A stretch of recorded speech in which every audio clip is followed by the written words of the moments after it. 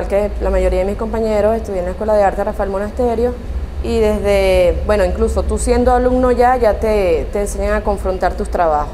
Es una manera de hacerte perder el miedo. Te confrontas en los salones estudiantiles. Luego ya a partir del 96 este, empiezo ya como a ensayar un poco más el trabajo cuando egreso. Eh, la individual, la primera fue en el 97, luego tuve otras dos más. Este, tuvimos una por internet también en el CIC, en el Centro de Información Digital de la Victoria, en el Hospital Los Amanes.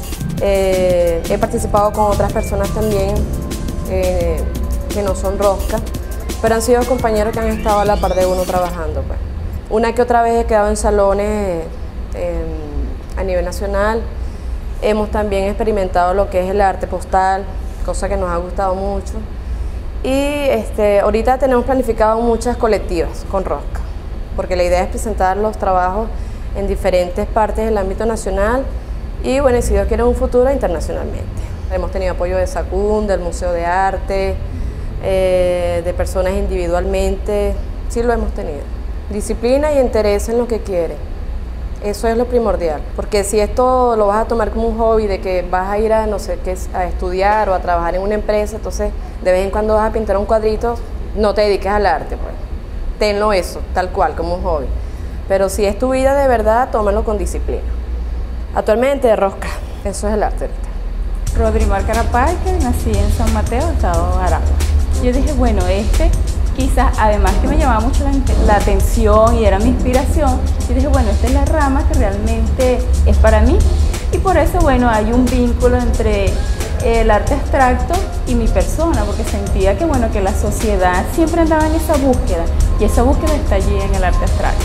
Siento que todo, todo, y sobre todo esa inquietud en la educación donde no aparece el arte. Yo siempre decía, ¿para qué me sirve la matemática? ¿Para qué me sirve este, estudiar castellano si realmente lo que yo quería era otra cosa.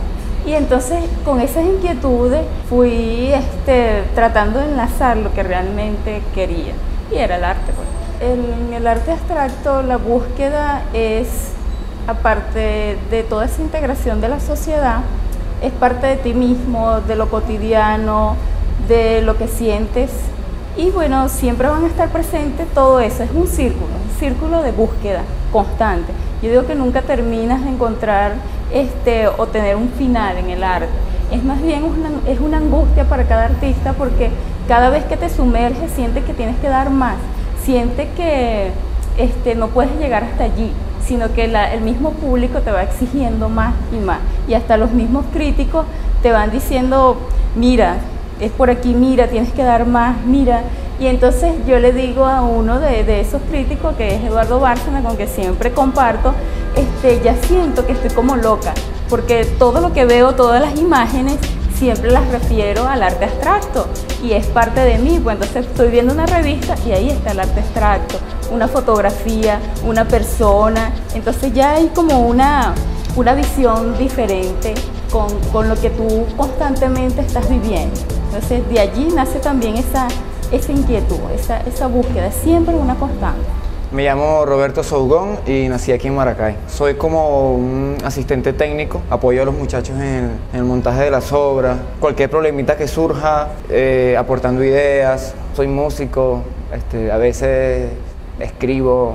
Tengo mis proyectos aquí, quizás no los he plasmado, no los he realizado. Estudié fotografía también, me gusta la fotografía he crecido bajo el ambiente artístico. Mi madre es artista plástico y toda mi vida pues he crecido, me siento en casa pues. ¿Qué me ha faltado? Disciplina, mm, proponérmelo de verdad, este, perder el miedo. En la música, pues bien, me expreso, eh, me encanta la música, inclusive en estos mismos cuadros yo, yo los oigo cuando cantan no solamente es pintura, porque es poesía también, ¿me entiendes? Eh, y es una música, es, es, un encuentro espiritual. Yo trabajo dentro de una sala de exposición y cuando no hay nadie dentro de la sala de exposición, pues simplemente me paro enfrente de un cuadro a ver qué me dice. Pero no que me dice visualmente, sino a ver si lo oigo, ¿me entiendes? Y ahí me paro y me siento bien. El triunfo de la rosca también es mi triunfo, ¿no? Porque me siento, soy parte de ello.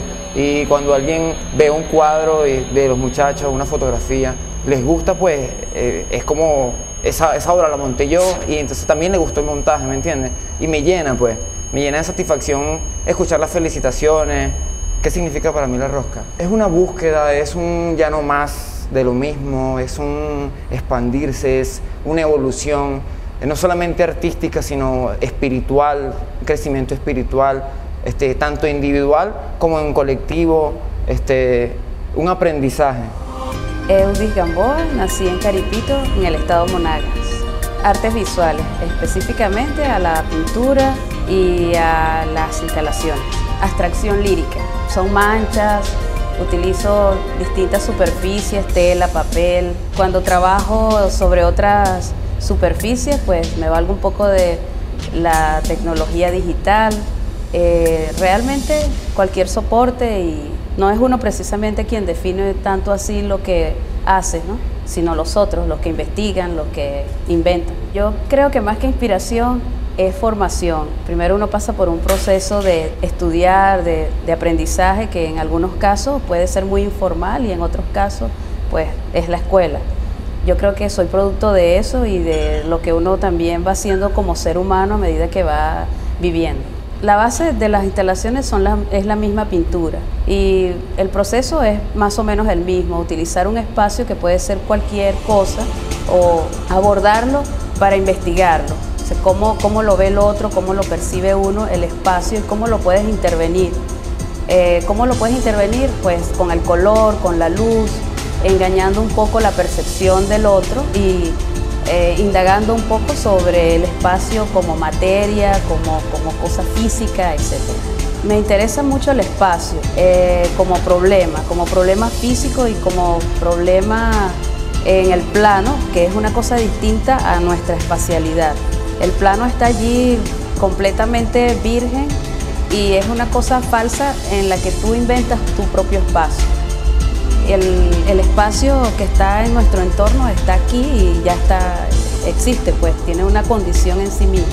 Lo que uno hace con el plano es inventar una cosa, es crear algo que, es falso, que, que, te da una imagen de profundidad, de perspectiva, eh, pero que no, es una cosa plana, que es un pedazo de tela o es un pedazo de papel o puede ser una pared.